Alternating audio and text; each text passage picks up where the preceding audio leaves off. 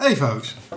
So I've been thinking today about this thing about how all white people are racist. And I've come to the conclusion that yeah, yeah, all white people really are racist. It's just a fact. Just like it's a fact how all Jews are talented violinists, how all blacks have a have an excellent sense of rhythm and they all love their chicken and watermelon, and how all Asians they're excellent at math but they're shitty drivers. How, how all Mexicans are lazy. How all Americans are fat and stupid. And of course, how all Arabs are terrorists. Yeah, yeah, makes perfect sense to me. Have a great day.